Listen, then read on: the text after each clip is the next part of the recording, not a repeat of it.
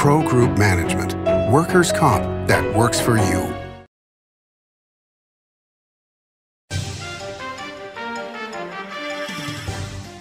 Welcome to Nevada Newsmakers on the broadcast today. Mary Lau joins us. She's president and CEO of the Retail Association of Nevada. Here for the whole show on an all new Nevada Newsmakers.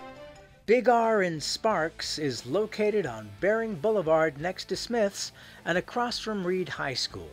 It's a 50,000 square foot hardware store and a whole lot more. It's huge with clothing, power equipment, tools, and of course, hardware. Big R is located on Baring Boulevard in Sparks, next to Smith's and opposite Reed High School. Big R. Hardware and a whole lot more. I'm here at the Carson Valley Inn in Minden with Joey Whitaker, and you've got a lot of convention space and meeting breakout space for people. Tell us about what's available. Well, we can handle a group up to about 250, uh, and anywhere as small as 10 or 15. So it really depends on what you're looking for, what the customer's looking for. We're open to anything. It's a beautiful drive, and if you live in South Reno, it's probably about 30, 35 minutes, so it's real easy to get to. It's not a long way to get away to the Carson Valley Inn. Like a traditional handmade basket, retail is woven into the fabric of life in Nevada. From big box to mom and pop, retail supports our communities in countless ways jobs for the disabled, team uniforms for kids, help for the elderly, and so much more. Retail employs over 1 in 10 workers. Retail supports Nevada, and we support retail. R-A-N-N-V.org. Nevada Newsmaker Studio is located at the headquarters of the Nevada Trucking Association. Motion and purpose are a truck's greatest virtue. This is Nevada Newsmakers with host Sam Shad, a no holds barred political forum. Now, from the Nevada Newsmakers broadcast headquarters, here is Sam Shad. And back on Nevada Newsmakers, we're always delighted to welcome back to the program Mary Lau, President and CEO of the Retail Association of Nevada, and one of our proud sponsors from pretty much day one, 21 years ago. So thank you yeah. for that as always. Um, I want to start out going down memory lane a little bit, if I may. What was the first legislative session you went to? Uh, well, as a director of retail or yeah. just as a lobbyist? Uh, either way. Uh, it was 89. 89. 87 or 89, something like that. Yeah. Who was leadership was then? Working up at the lake and came down and testified on some credit bills. And interestingly enough, bills that were uh, raising the threshold of allowable crimes. Sound familiar? Yes, it certainly does. Um, who is who is in leadership at that time? Obviously, Bill Raggio, I'm guessing. Obviously, Bill Raggio and J- and Dini. Yeah. um, and it would vacillate back and forth between Bill and Jack Vergiels at the time. And and what was the tenor of of the sessions there? Because you didn't have term limits, so people have been around a while. Uh, they'd actually been around forever. Um, a lot of them, there was a whole bunch of old names that won't mean anything now to anybody, but you know, like those of us that love them, the Virgil Gettos, the Jack Jeffries, John Carpenter. I mean, all of these people were amazing. But again, the point that you're driving at is there was more community. There was ability to work together. There was um, things that that both sides of leadership would do. If you needed help on something, you could meet with them. You knew, like with Jack Jeffries, he was so fair and so wonderful to work with. Just don't mess with the unions. You know, each one had their own little interests and stuff. Uh, Joe Dini, a businessman, had been a previous Republican, and he was so good working with business, and he was also vital for the state. And we all know, you know, Bill Raggio was called Uncle Bill by most people. And even Vergiels, I mean, Jack Vergiels was a hoot, but you could get together with these people and you could work out your issues. If somebody was really giving you a hard time, they'd sit there, throw something in finance and say, let me know when you figure it out. Because we also didn't have 120 day sessions then either. Right, right. Um, another name that I need to throw out there would be Bill Bilyeu. Oh my God. Well, Bill Bilyeu's still around. He's right. a rascal forever. Bob Barengo, still around. I mean, you love these people. Bilyeu is still active, but he's active in a very sublim, you know, subdued, sarcastic way. the man is amazing, and I adore he and his wife. I mean, they're wonderful people, and they have stayed true to the course the whole time. And Randolph Townsend was an up and comer. He was an up and comer, and Randolph. I still enjoy Senator Townsend. I don't care if he went on the gaming commission or anything else. He is senator to me. But uh, I still reach out to him for advice. We're both Aquarians, so happy birthday, Randolph, when his birthday actually hits. But that man worked on. Uh, he almost like broke your leg if you interfered with anything towards trying to get more funding for mental health. He worked on mental health, mental health, mental health. And it has to break his heart to see how it was underfunded after that, how so many things got dropped, how so many things got waylaid where they may be still here, but they're not the original purpose. And the man's amazing. So I think he'd be happy to know that this governor is focusing on mental health now, too. Well, I know he would be. I talked to him recently. well, um, you know, and, and you're absolutely right. And I said this on the program a couple of weeks ago. When I first got into television news in 1980, one of the first interviews on the set was a gentleman who just resigned from uh, mental health in the state and was saying at that point how woefully underfunded mental health services were in the state of Nevada. And it's such a huge issue. And it affects almost every area of the state, especially schools, I would say, at this point in time. Oh, absolutely. And it, it, it took it took Randolph a while to get positioned.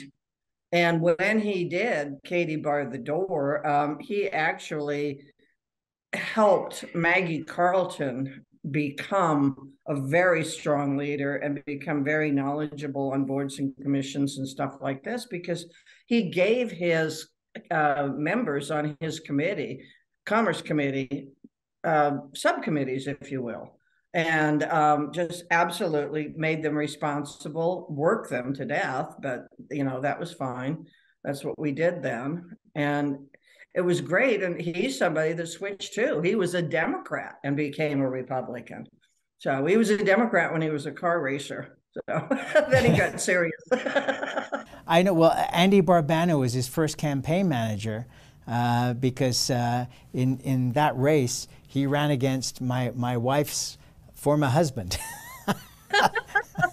so, who was a very strong Republican at that point in time. All right, let's take a break. Let's come back. And now that we've got everybody under the age of 60 that has no idea what we're talking about, what's the show going to be today? Listen, the, you know, the deal is we have this thing called Google. They can Google these names and they'll come up with a fascinating history. Oh, one other last thing, real quick. Um, was Jack's Bar officially a part of a legislative building, or was it still a place you went to? Oh no, it was officially it was a legislative building. It was a, a sports gym if you wanted to get into boxing match, and um, at the time you the in the assembly the windows opened, so there wasn't a, a many rare occasions that somebody just walk out the window and go across the street and have a shot. And you used you used to send mini bottles on the floor. Well, I mean, it was fun then. It was productive.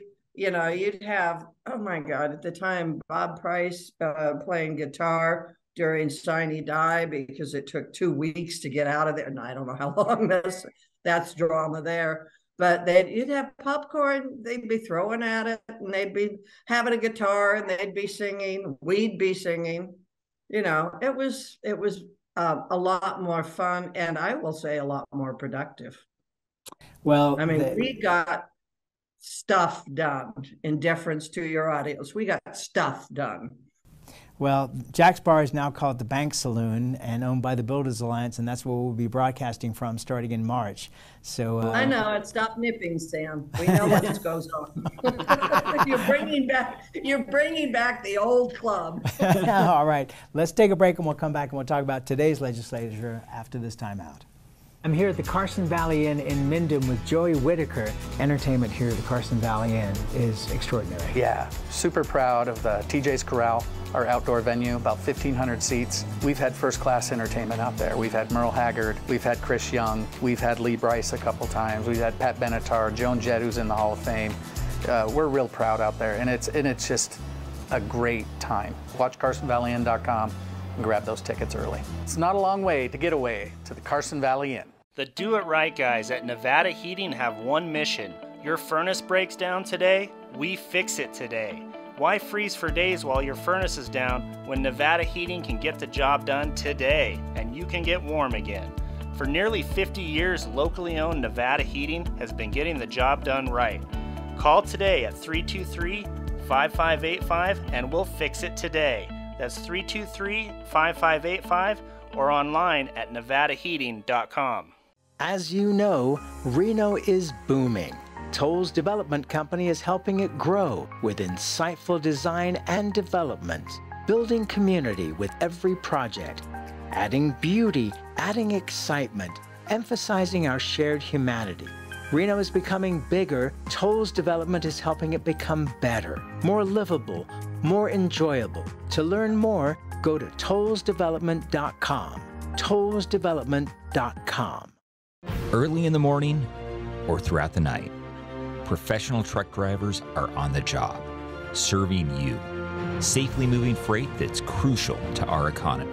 From the oldest industries to our newest innovators, from the exotic to the everyday. Trucks are everywhere, moving everything. Never afraid to embrace a future that makes Nevada and our nation stronger. Trucking moves America forward. This is Nevada Newsmakers. And back on Nevada Newsmakers, we continue our conversation with Mary Lau. She's the president and CEO of the Retail Association of Nevada. So I went to both legislative balls, the one in Reno and the one in Las Vegas. And the thing that struck me was it just seemed like everybody was ready for a whole new beginning.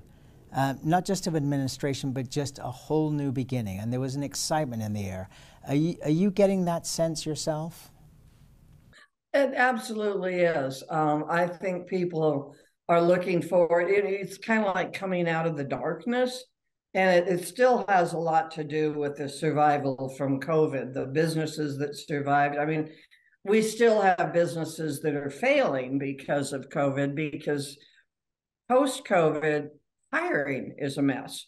So you can't quite, especially for mom and pops, they can't quite get what they need at the prices they can afford and stuff. So that's created some problems. And then the the lack of communication from the previous administration is was disconcerting. And I think everybody is like, okay, time for a new beginning, time for fresh air, fresh air, and time to move forward. And um, it was there was an openness and a and a kiss and make up. I mean, the balls are also an opportunity for people that weren't there in the beginning to show their love at that point in time. So, as we will term it, but it, um, I think there's an enthusiasm out there. There's some consternation where it's like, okay, is this session? What is the session going to be like? Is it going to be deja vu all over again, or is it really going to be able to work with you know, with both parties across the aisle, or if you can term it four parties if you want to, because you've got progressives and moderate Dems, you've got moderate R's, and you have got far right. So, and then in the there's nobody in the middle quite yet.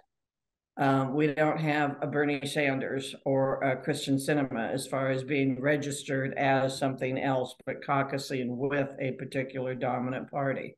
So I don't know. It, it, everybody is cautiously optimistic. It's going to be a little bit different. The building is different now. There's no place to really meet. There's no place where people can gather and be together. They decided to put a library in the research library and stuff. So they took out areas where uh, legislators and lobbyists met, even sometimes, or staff would come down and have meals. So there's going to be an adjustment. There's not as much room on the second floor yet. When it's finished, I understand there'll be more. But it's interesting because a lot of our major members, of course, are in all 50 states. And Nevada was known as having one of the best legislative buildings in the United States. And I don't know how it's going to pass muster now as far as being able to work together. Uh, what do you think? There's optimism, Sam. And I like that. What, what do you think the LCB was thinking when they redesigned the building? Because the cafeteria area was where more work got done, and I think more lobbying and, and legislation was arranged uh, in that area rather than the food being consumed. I have no idea. I think it's a compliment to say thinking.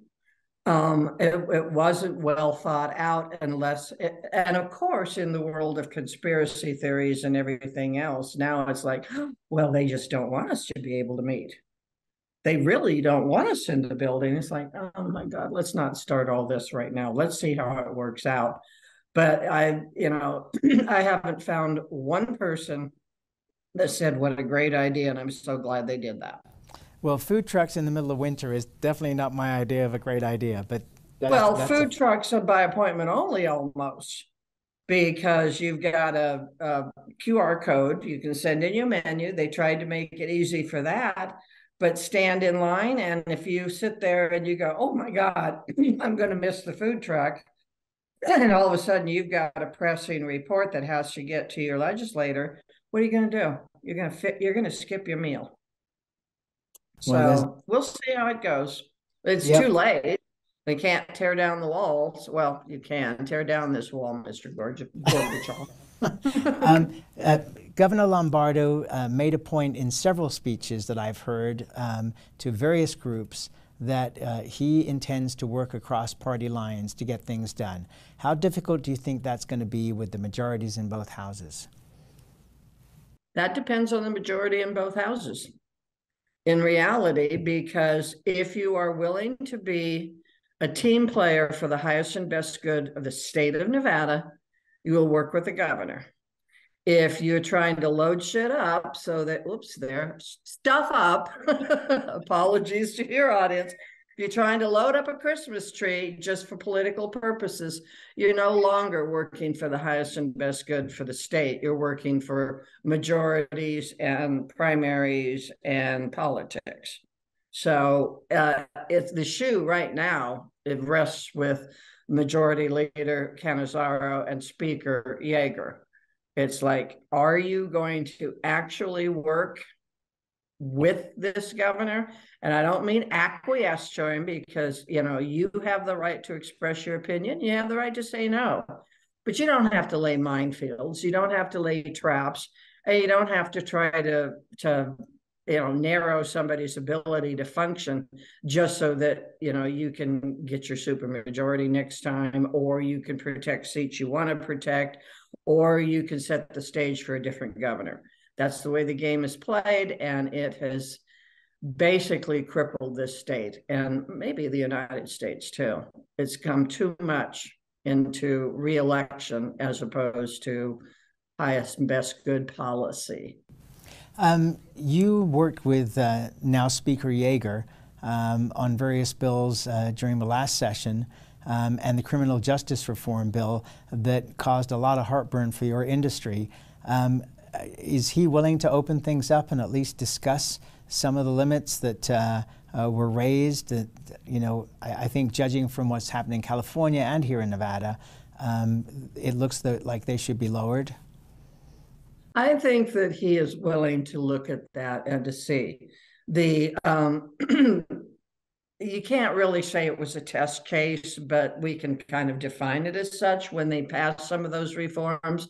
Some of it has proven very, very harmful you let somebody out of jail, your no bail or your reduced bail policy, and it's just vacation time. Let's, you know, get the heck out of Dodge. We saw what happened with the guy that was here and then went back up to Oregon and eventually shot himself underneath the house. There, there's things like that. And then your organized retail crime, everybody knows how bad that is. They are not mostly peaceful protests, okay?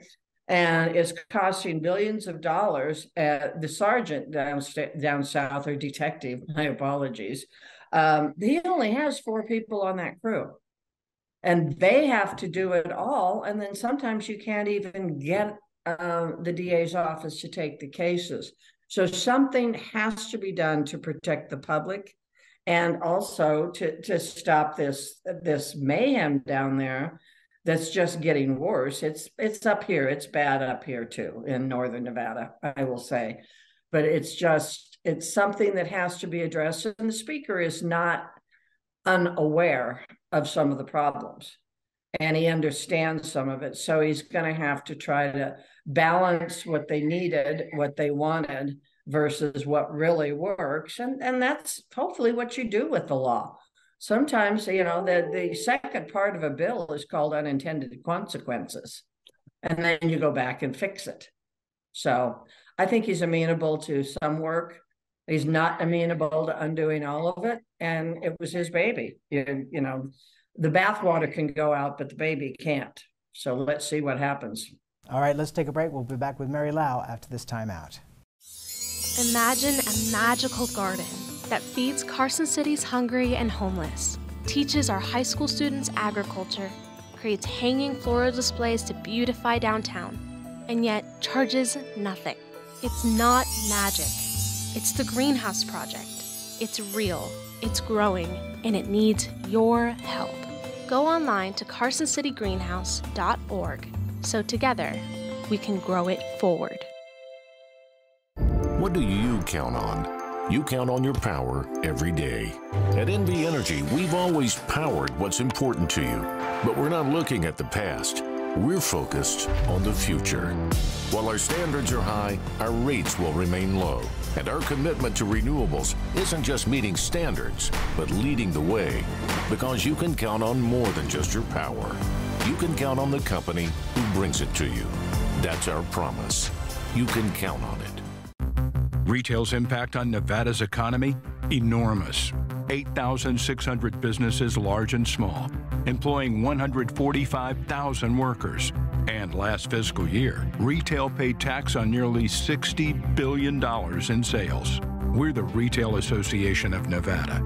We support retail, we help it grow, and we mean business. RANNV.org Pro Group Management is the place where companies can find workers' comp solutions that are designed to meet their specific business requirements. As regulations evolve, Pro Group takes a proactive approach to clear the path to make sure your business stays ahead of the curve. Knowing your workers' comp program is optimized, you can focus on other important matters related to your growing business. Pro Group Management, workers' comp that works for you. This is Nevada Newsmakers. And back on Nevada Newsmakers, we continue our conversation with Mary Lau. She's the president and CEO of the Retail Association of Nevada. So, uh, we've had several discussions over the last couple of days on this program about the potential for a bill uh, going to the legislature to take money from Storey County uh, that will be coming in after the abatement cease for Tesla um, that Sparks and Reno and Washoe County would like to get their hands on some of that money. Storey County is fighting back saying, hey, not only do we have infrastructure that we need to rebuild ourselves and build, uh, but also there's money to be repaid to Roger Norman that is in six figures in terms of hundreds of millions of dollars. Uh, what do you think about this? I think they're too late to the party.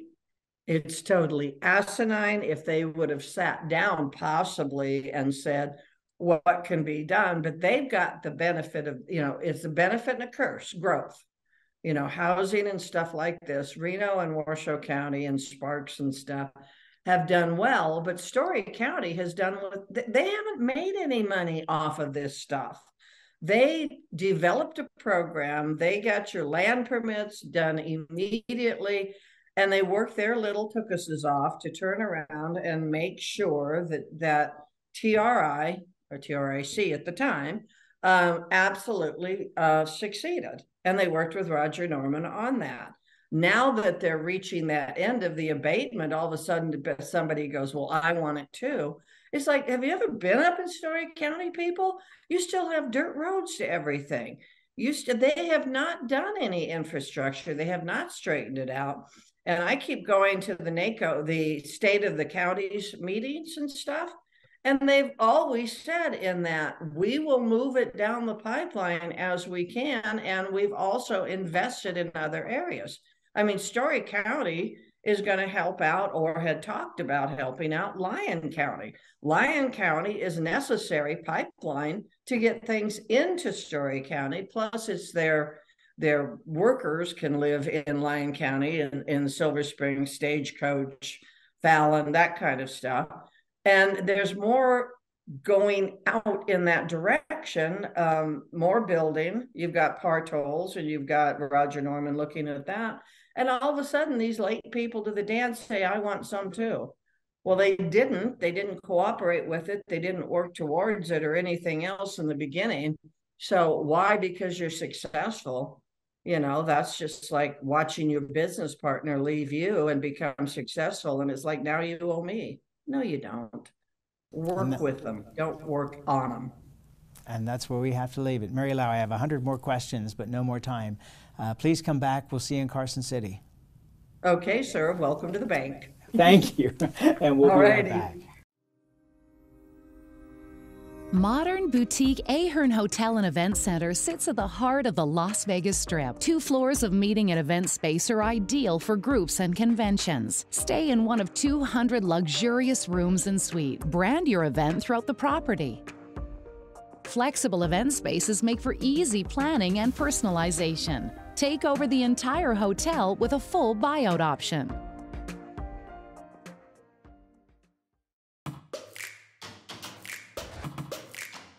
Snorkel personnel lifts are engineered beyond the industry norm to an uncommon level of safety and durability and with an eye towards sustainability. They're also designed to be simple to operate and maintain.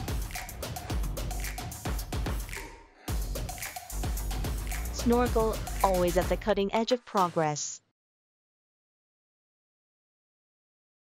With Nevada's only transplant center and verified burn center, the science is here. With award winning cardiologist and the state's only dedicated heart failure clinic, the talent is here.